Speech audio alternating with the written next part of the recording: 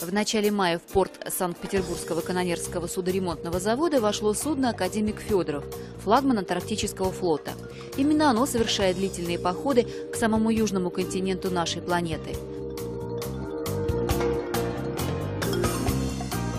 На борту судна находился груз, конечный пункт назначения которого – город Тольятти, музей «АвтоВАЗа».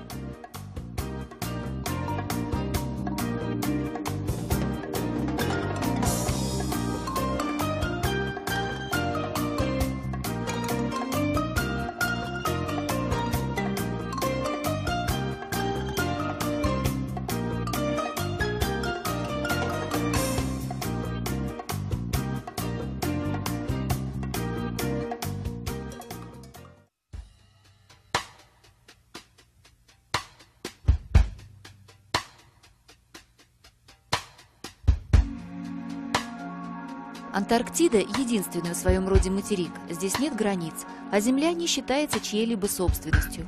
Правда, иные государства время от времени объявляют о своем праве на вечное владение континентом, но никто не воспринимает это всерьез. Практически дело обстоит так.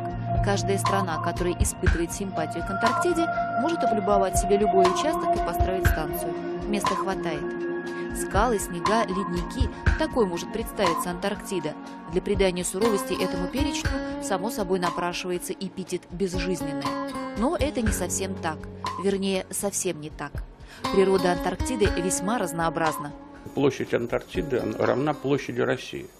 И когда мы говорим, например, о, вот, ну, в двух словах скажите о Какие природные условия в России? И всегда можно сказать, а где, на полуострове Таймыр или в Краснодарском крае, э, в Сочи. И это все будет Россия. И это Дальний Восток и Ленинградская область. И все это будет Россия.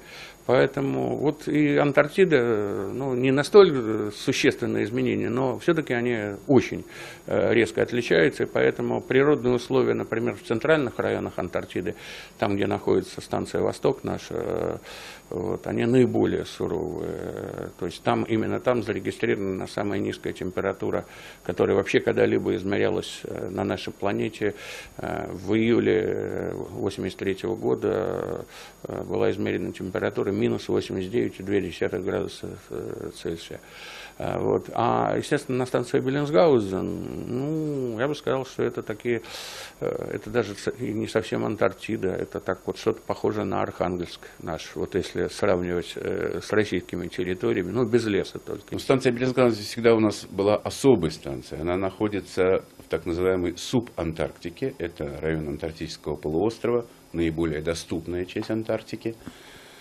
Ну, кстати говоря, она была и впервые открыта, вот той самой э, знаменитой первой русской а, антарктической экспедиции под руководством Беренсгаузена и Лазарева был открыт вот остров, который получил название Ватерлоу. Остров совершенно необычен э, по многим обстоятельствам. Во-первых, э, это место, где ну, просто наиболее богата флора и фауна. Огромное количество пингвинов, тюленей, всяких там ластоногих, там пингвинов, наверное, шесть типов. Огромное количество птиц, в том числе океанических, антарктических птиц. То есть очень красивая, очень необычная, очень ну, просто завораживающая природа. Это раз. А, там красивый очень э, рельеф, то есть там огромные скалы есть, ледники висячие, там ледопады, купола ледниковые. То есть вот с точки зрения ну, как бы обывателя, обычного человека, ну, это вот очень красивое место. Второе, поскольку этот остров э, достаточно доступен, ну, с точки зрения, прежде всего, ледовый, остальные районы Антарктики очень сложно, туда без ледокола не сунешься, а сюда можно. И поэтому там целый ряд государств открыли свои станции. Вот в 1968 году мы открыли станцию Беллинсгаузен, в 69-м рядом с нами открыла станция Чили.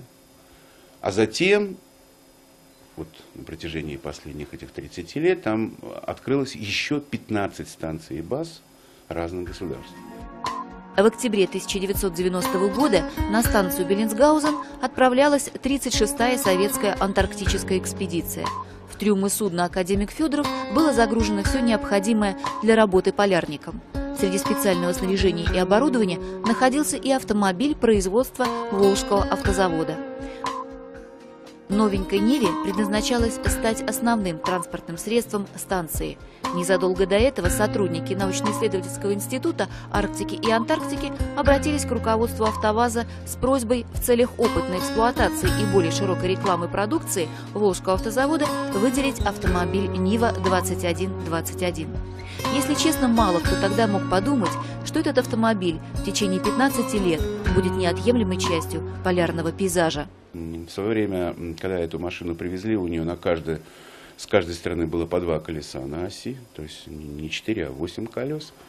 А, был такой Макеев, э, э, сотрудник да, Николая, да, который э, сравнивал эту машину с другими, с канадскими джипами, там, с Тойотами и так далее, те, которые у соседей были. Она зарекомендовала себя достаточно хорошо. Но потом мы, естественно, эксплуатировали уже после него только в обычной комплектации с четырьмя колесами. Николай Макеев – опытный испытатель. Он участвовал в автопробеге Москва-Каракумы-Москва. Проводил испытания вазовских малолитражек на Камчатке и на Крайнем Севере. В 90-м году Николай Валентинович не только готовил Ниву в Антарктиду, но и сам провел на станции Беллинсгаузен 7 месяцев. Макеев испытывал ходовые качества автомобиля в экстремальных условиях. Был получен обычный серийный автомобиль ВАЗ-2121. Этот автомобиль прошел незначительную подготовку. В основном подходили с позиции тех условий, в которых он там будет эксплуатироваться. Предварительная договоренность с Институтом Арктики и Антарктики – собственно, выявила те проблемы, которые могут у нас возникнуть в условиях Антарктиды. На автомобиле были изменены расположение системы впуска горячего воздуха, подогрева его. Установлена общая защита от переднего бампера и включая раздаточную коробку – Далее э, по автомобилю самому было улучшено антикоррозийное покрытие и шумоизоляция. Ну, то, что она была подготовлена, это было тоже, видимо, сослужило хорошую службу по той простой причине, что климат там э, в отношении железа очень э, агрессивный. Я могу вам сказать, что чистое железо там корродирует со скоростью примерно 1 миллиметр в год. Это чистая ржавчина образуется, представляете себе. Угу. Вот. Почему? Потому что там место, где расположена станция, там такой перешеек между двумя проливами океанскими. Это пролив Дрейка, с одной стороны, широченный, полторы тысячи километров ширина пролива, с другой стороны Брансвилл. И поэтому э, морской воздух с солью, со всеми при нулевых температурах это постоянная вот там погода. Зимой там где-то минус 25-30 э, бывает, а, но, но не, не так часто. В основном это вот 0 минус 10, обледенение, э, постоянные осадки, постоянная. То есть климат очень агрессивный для данной машины. Но тем не менее она показала себя достаточно уверенно, хорошо кого она только не возила. Машина прошла антикоррозийную обработку у нас на участке в 46-м цехе, серийную. Единственное, что сверху была завоскована. И мы, пометуя те условия, в которых она будет эксплуатироваться, просто не смыли до конца это покрытие. покрытие восковое. И это позволило машину эксплуатировать безболезненно такой длительный срок. Если говорить э, о том, что она выполнила огромный объем работы, ну, мы слукавим, э, безусловно. Потому что, э, безусловно, ну, автомобиль, он хорош, когда вот он есть. И это, э, да, очень выгодно. Вот если, например, поехать по каким-либо делам там на соседнюю станцию там, к уругвайцам. Но не идти 5 километров, вот, а э, поехать. И не надо гонять туда ГТТ, который съест очень много солярки за это время. Вот, а сделать это на автомобиле за небольшим, с небольшим каким-то и расходом, и, соответственно, ну, немного людей туда-обратно привести. Но говорить, что за это время она там пробежала несколько раз вокруг экватора, конечно, нет. Это не те эксплуатации. У нас любой автолюбитель, э, ну, который эксплуатирует свой автомобиль, конечно, он больше наездил. Просто даже ездя каждый день на работу и э, на садовый участок по выходным. Вот, э, у него и то больше пробег будет, чем у этого автомобиля. Но не надо забывать, что все-таки она там эксплуатировалась в условиях бездорожья, полного бездорожья. И э, вот она очень надежно и хорошо зарекомендовала. И это, да, это был очень хороший э, рекламный шаг э, для того, чтобы мы э, продемонстрировали э, о том, что наша страна обладает вот таким э, вседорожником, э, внедорожником, вернее. Вот. И я знаю, что как раз в то время